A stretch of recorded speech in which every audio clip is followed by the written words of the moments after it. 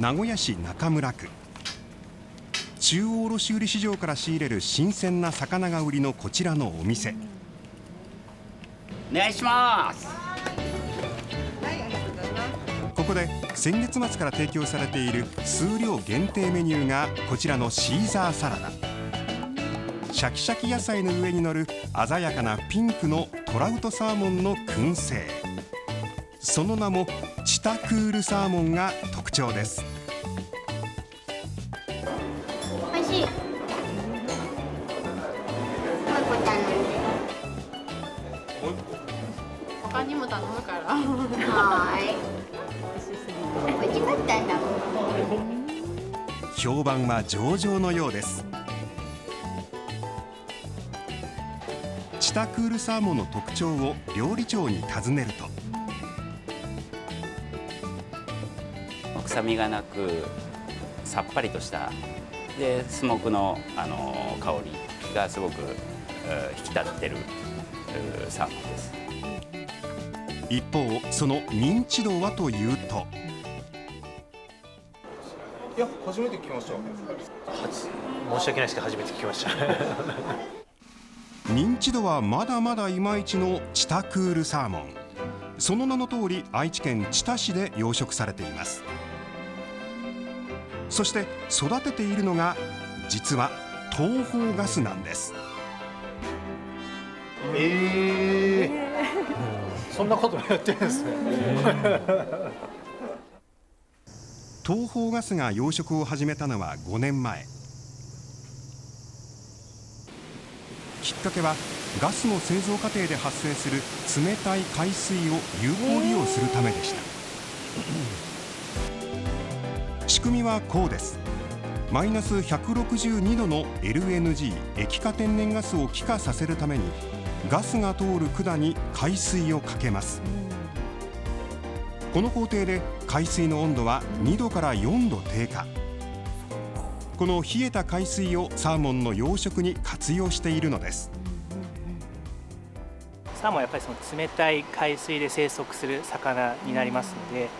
冷たい海水を使って養殖をするのにはやはりサーモンが適していると。そこに着目して今回サーモン養殖に取り組むということを思いついた。実証実験として始めた養殖。初めて出荷したのはおととし6月でおよそ2トン。翌年には12トンに増えました。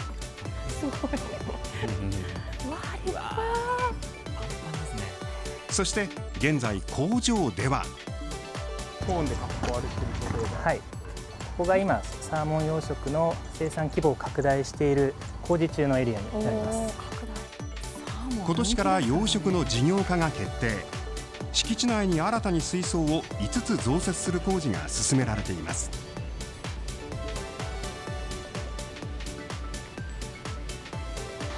11月の養殖開始に向けおよそ4万匹の稚魚を確保しています目標の出荷量は？去年は出荷量が約12トンだったのでその5倍の約60トン以上をえー今回は目指しています。行きますね。東方ガスが愛知県知多市の工場でガス製造と並行して養殖するチタクールサーモン。新たな名産となるか取り組みは続きます生産規模を拡大するだけではいけなくてきちんと販路も拡大して地域に認められないといけないと思ってますのでこれからしっかりと頑張っていかないといけないと思っています。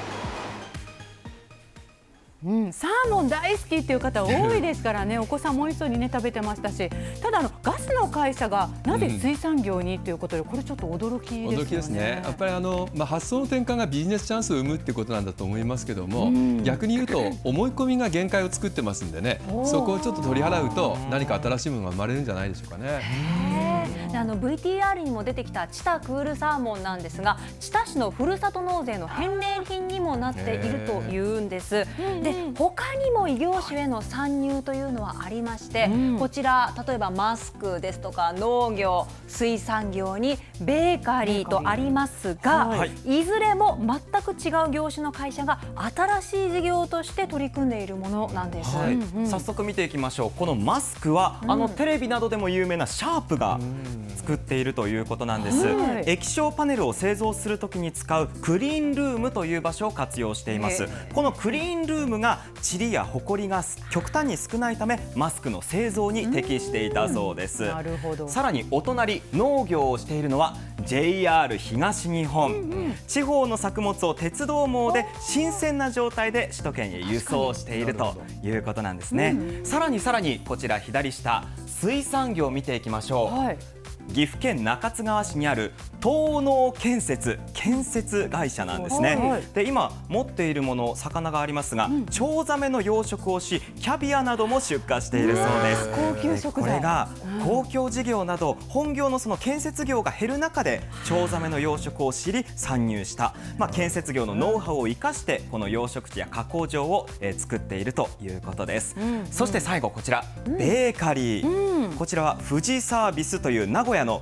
太陽光発電会社なんですね。屋根にある太陽光パネルで発電して電気釜でパンを焼いているそうです。すごいな。すごいですよね。でこうしてみるとこう異業種でもきっかけというのはもともとやってる本業にあるわけですよね。うん、まさにそうですよね、要するに本業そのものを見直してみたらそこになんか新しいビジネスが生まれるチャンスがあるっていうことに気づいたってことだと思うんですけども、はい。今最近ですね SDGs って言葉がありますよね。であの言葉はなんとなくあの事前事業と勘違いされてる方が多いんですけども社会課題を解決しながら新しいビジネスを生んでいくっていうことなんですよね。でそうしますと例えば新しいあの本業の中で廃棄物がたくさん出ていたものを有効活用することによって廃棄物も減るし新しいビジネスが生まれてそして収益にもつながる、まあ、こういったですね好循環を考えていくっていうのが今のトレンドなのでこれ単なる異業種参入という捉え方よりは本業の見直しっていうそういう側面があるんじゃないかなっていう気がしますね。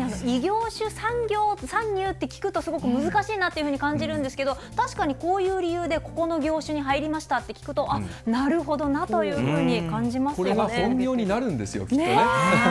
ということは誰にでもチャンスはある、どの分野にもチャンスはあるということですね。はい、広がりそうです。